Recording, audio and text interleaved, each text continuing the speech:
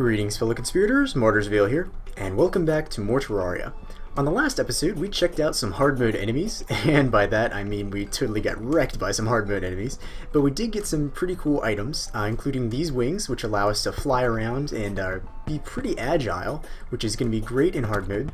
Uh, also got a ton of ores, with which we made this sword, which is pretty awesome. It's um, I hate, I hate to say it, but it is an upgrade from our legendary enchanted sword. It does just so much more damage.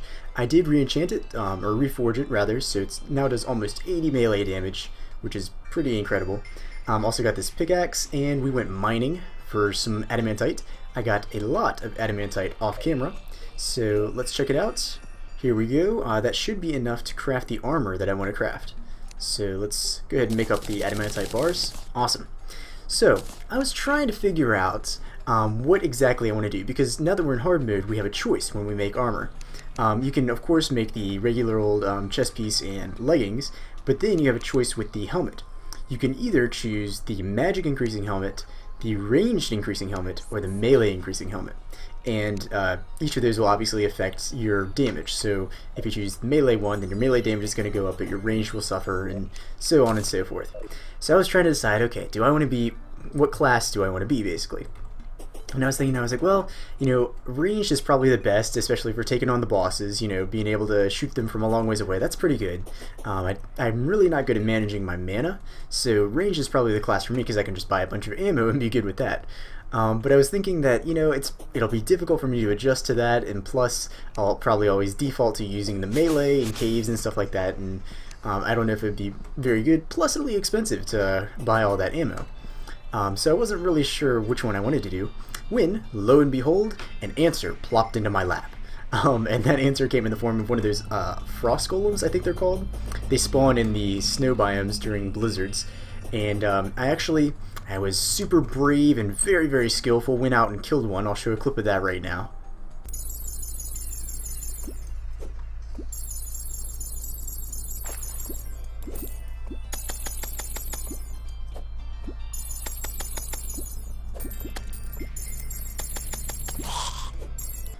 and so anyways, um, yeah, so we kind of cheesed that fight a little bit, but I did manage to get three Frost Cores. And these are pretty special because they allow us to, instead of making the regular old adamantite armor, we can now make the frost armor, which is seems to be better in pretty much every way. So let's uh, let's check it out. The frost leggings give us 13 defense, whereas the adamantite give us uh, 12. So in terms of just base defense, um, it's better.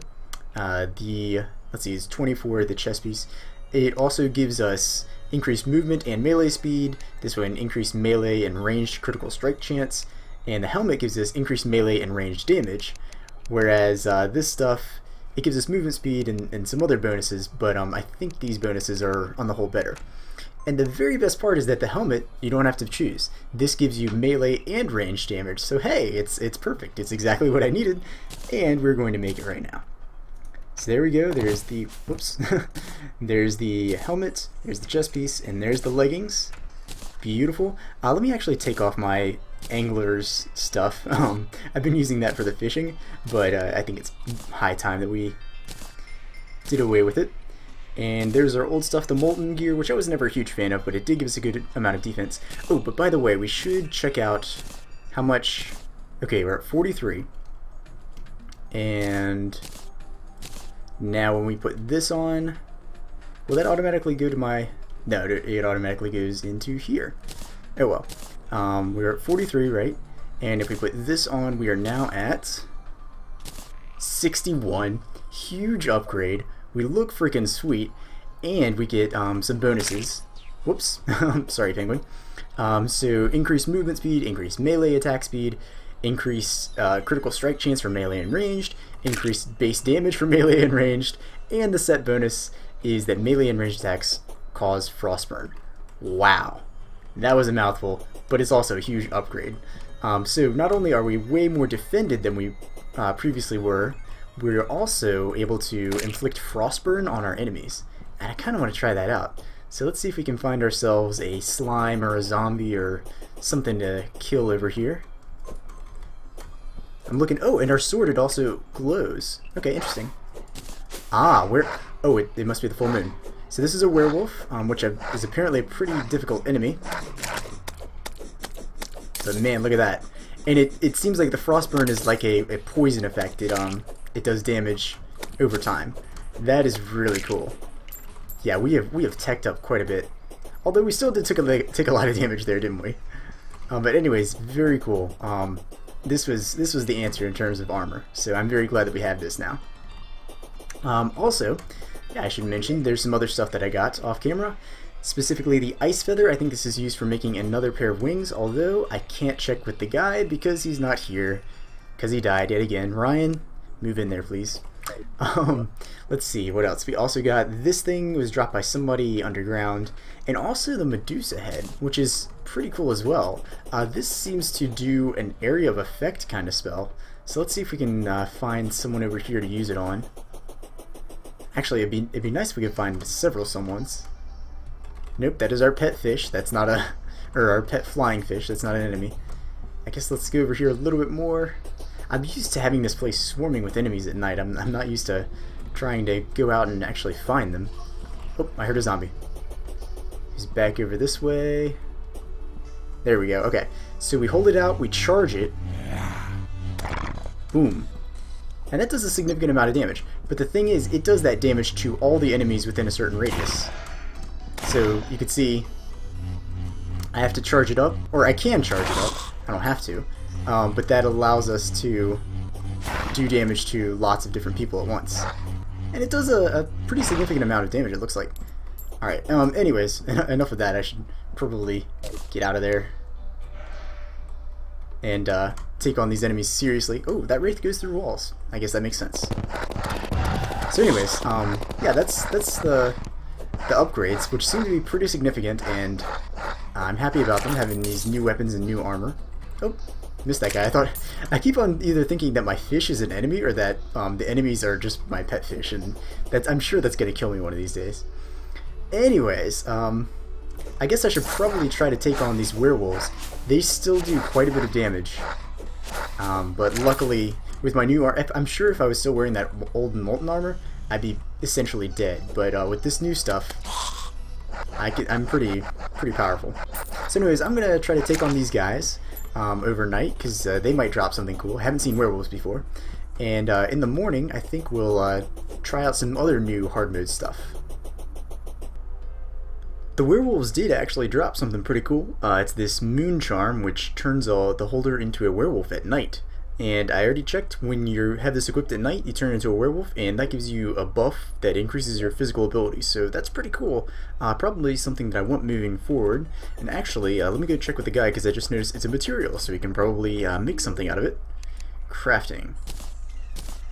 What do I do? I need a Neptune's shell.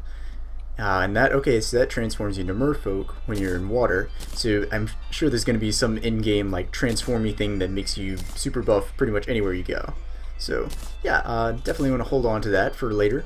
Um, anyways, I got so excited about the, uh, the Medusa's head here that I totally forgot about the other things I wanted to show you. Uh, I just got some random stuff in the Hell Biome Underworld. Uh, this is actually kind of old news now that I've got all these new hard mode weapons, but still kind of neat. Um, got a nice wizard hat, Medusa head, trifold map. Uh, I think just just randomly got dropped by a bat somewhere, um, one of those giant bats. So this I believe combines into this super uh, item that prevents basically all debuffs. So definitely want that as well. Um, this is for wings, and uh, these couple things. I went ahead and reforged this by the way, but this was just a fish that I caught in the corruption while trying to uh, complete a quest and it's actually pretty cool. It's a ranged weapon, and it shoots these toxic bubbles that um, they they go straight for a little bit, and then they just sort of uh, go upwards, like they float into the air, and it's pretty neat. And what I thought we would do is uh, do a little bit of a range comparison test here uh, in a couple minutes. But first, there's a few more things that I want to do. Uh, first, I, I, will show you this other thing that I got. This was dropped by a Frost Elemental. Pretty decent magic weapon. And this is even just a slow one, so uh, imagine if it was faster and did more damage, that'd be pretty cool. But I have decided I'm doing uh, the ranged melee thing, so I probably won't be doing that. Anyways, uh, what I need to do here is go up to the wizard, uh, who lives over here. Oh, okay, it just fell. Anyways, uh, he sells this crystal ball, which is used to craft some stuff, so we need that. Thank you very much. And I'll actually, I'll probably just leave it in his house because I don't really need it too much. So I'll just leave it right there. So this crystal ball is pretty cool. Um, you can use it to craft some magic stuff, and there's two things in particular that I want. Um, first, let me check and see if I have anything in my piggy bank. Nope, piggy bank, not a chest. Meteor shot, silver bullet. Okay, no, I do not. So if we go over to Tyrone, our uh, arms dealer guy, um, we're going to buy some musket balls from... Oh, he's actually, he sells some more stuff now. Shotgun.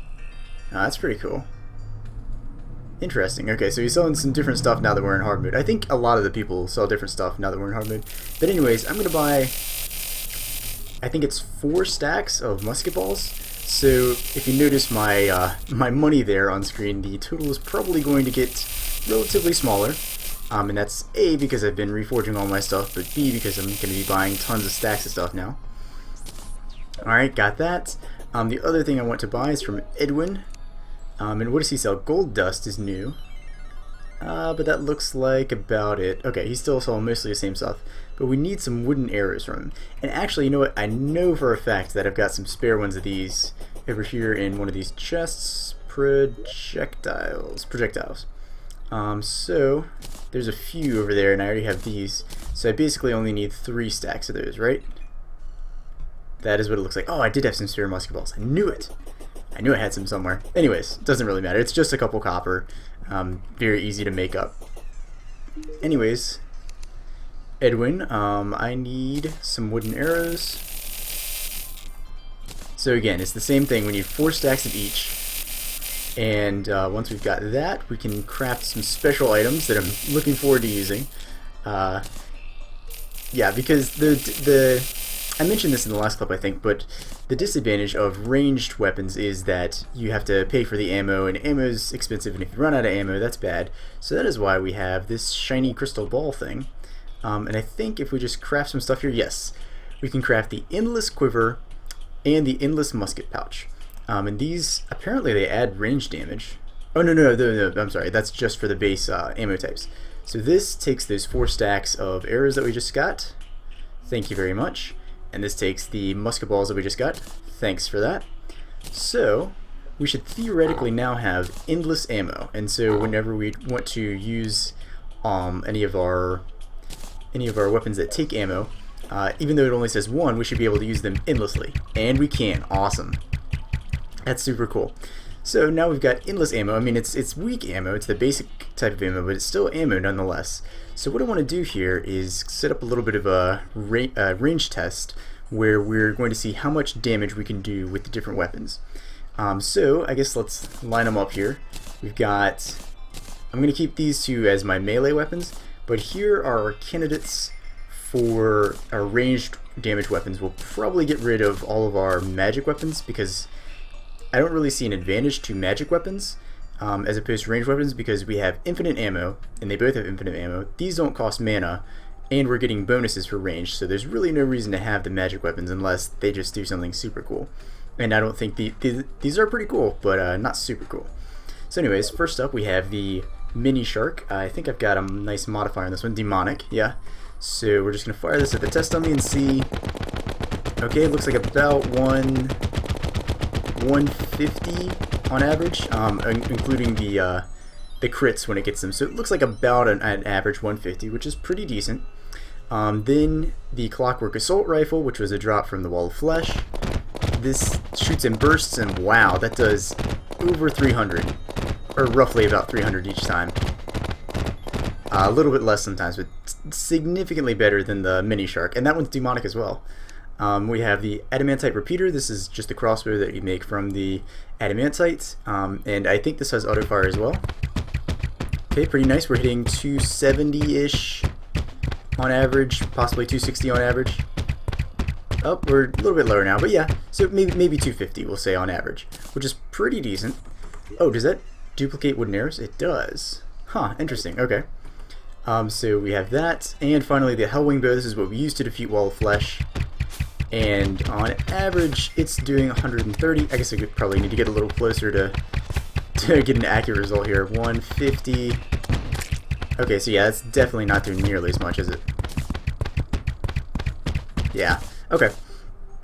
Good to know. Finally, we have the uh, Toxikarp, which is really weird using a fish as a gun, but we're going to try it here. So, two 300. Looks like on average about 270, maybe maybe on average 300. Um, it's getting quite a few crits. But yeah, so from that, I think we can deduce that the Clockwork Assault Rifle is absolutely better than the Mini Shark at this point in time. Um, same thing with the repeater. It's definitely better than the bow, even though this is a nice bow. Um, but these are the point is these are both pre-hard mode weapons, and we are just totally outclassed them with this. Um, but the Toxikarp is actually I was surprised at how good that was. Um, I think I'm actually going to keep that around. Let me see. What do I want this? I'll keep that there. I'll probably put that there, that there, that there. I want this in, in, a way that sort of makes sense to me. But basically, we have our melee weapons, which, I mean, we can test these out as, as well. Um, so we're doing 250, a little bit less when we're not critting, but a significant amount of damage with the sword and with the Amarok. We're doing, uh, looks like about 300. Oh wow, we, we hit over 400 there for a little bit. So when it's critting. So this does more damage, but this is, it covers a wide arc, so I do want both of those in the bar. And uh, as I showed, these both have their different merits. We're using different types of ammo, but um, yeah, still still pretty cool. And of course, the Toxikarp. yeah, so uh, pretty good selection of weapons. I think I'll be putting these away for the moment. Although, actually, I'll probably be putting this one away for good, but I know this one we're going to want for something a little bit later on. Uh, but let me just put those here for now. And actually, uh, well, let's, let's put this stuff away too. And um, since it's getting to be nighttime, what time is it? 6.40.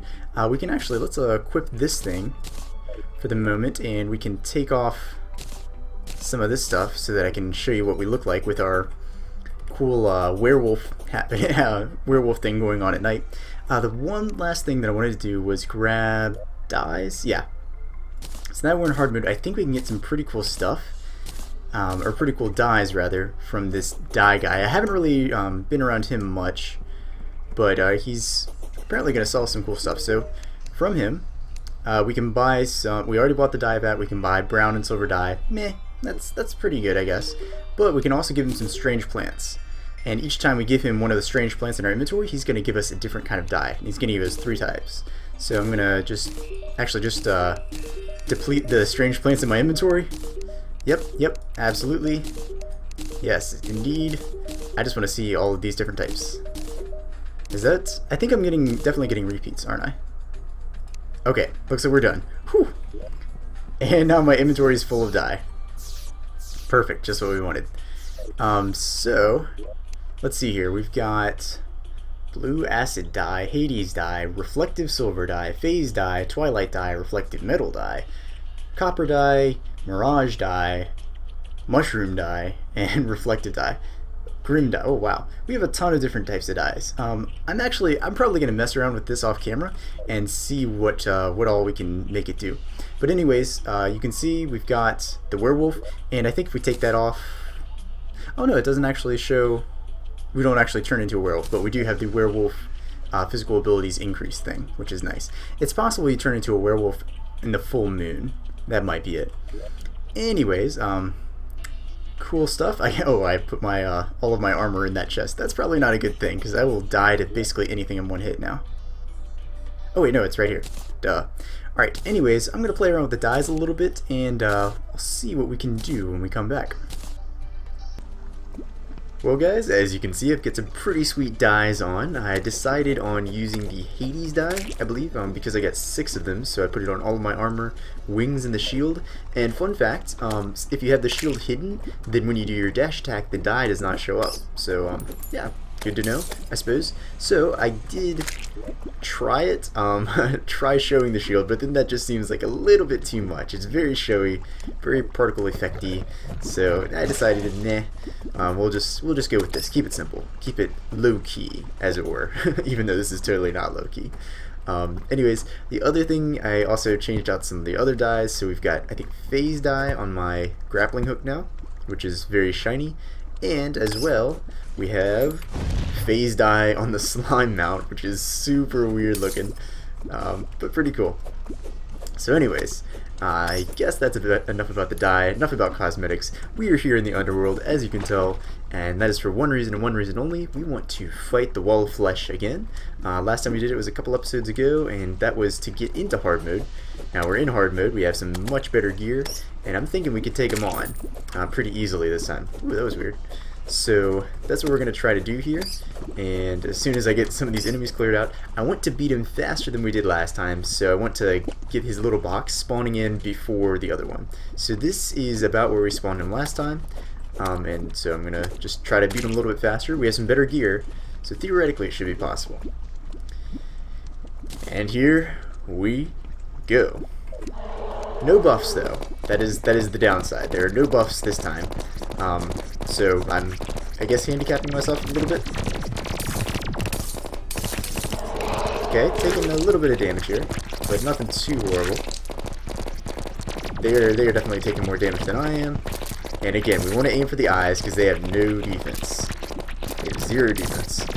Um, I am using the regular old musket balls, the infinite musket ball pouch, because I figure it's a little bit weird the way it works, but essentially, piercing ammo, um, it, it, goes through multiple enemies, right? And that's that's pretty useful.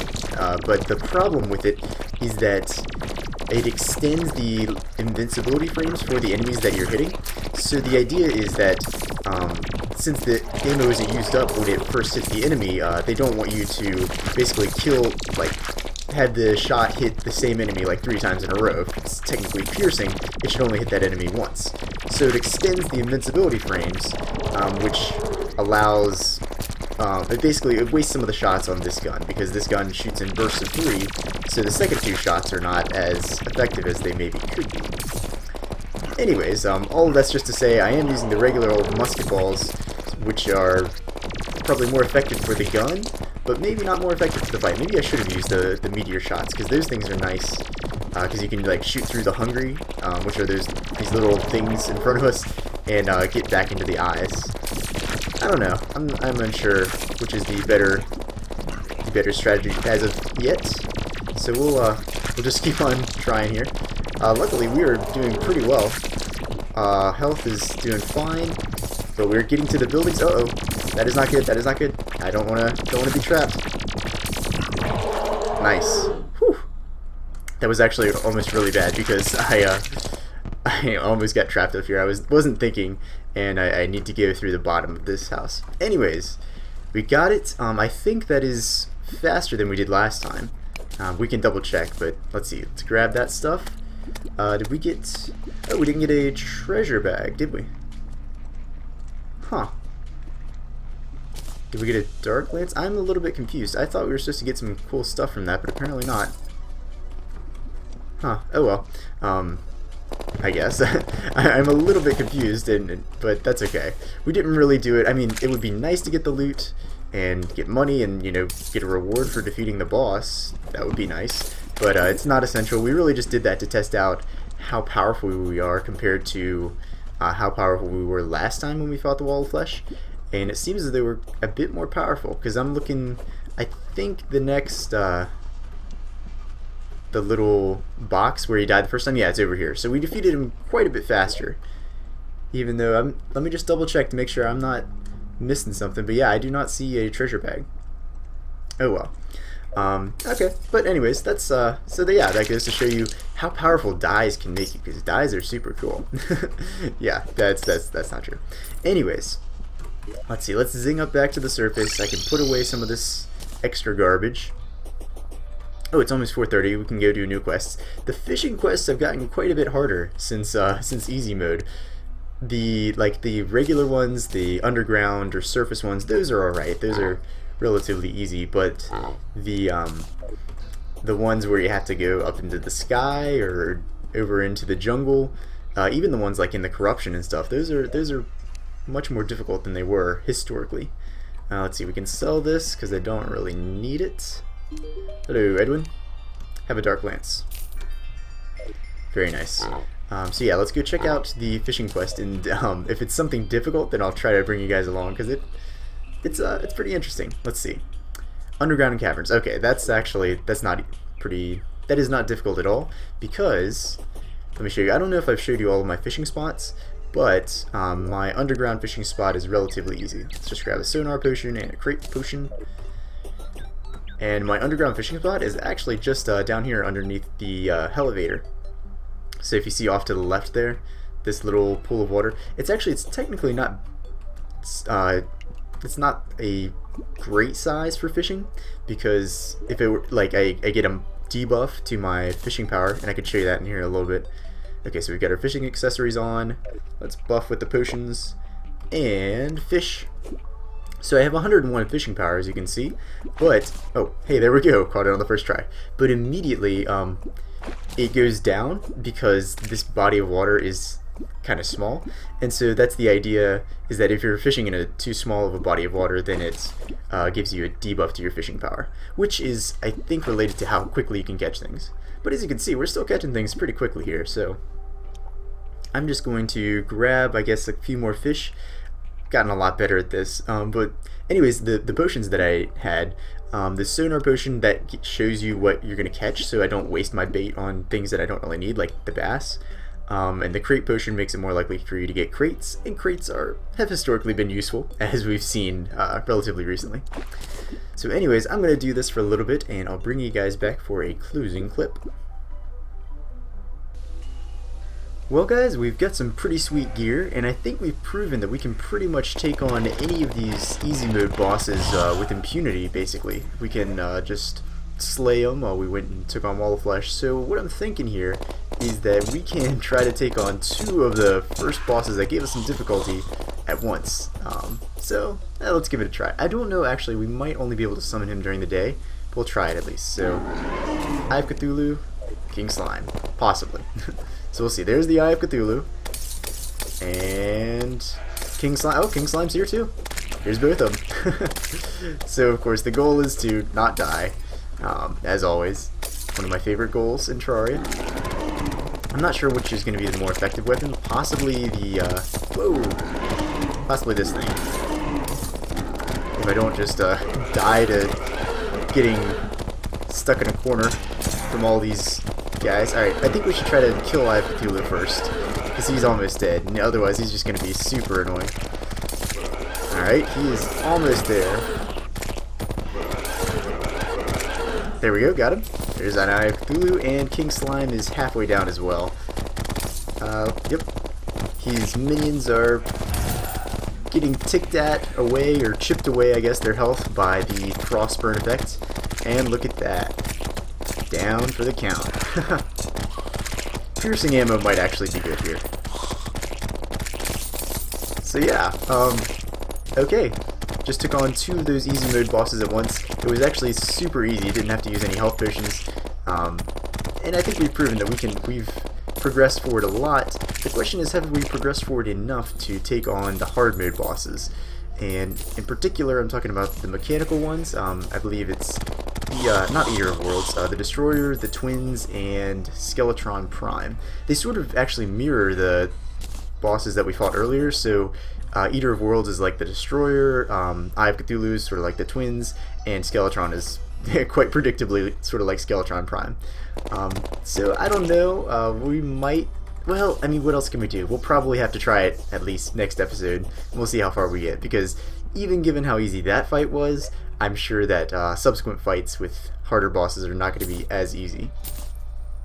Anyways, got some cool stuff, I'll sell it. But that is going to be about it for this video. Thanks very much for watching, hope you enjoyed. If you did, then please hit the like button and consider subscribing. And I will see you in the next video.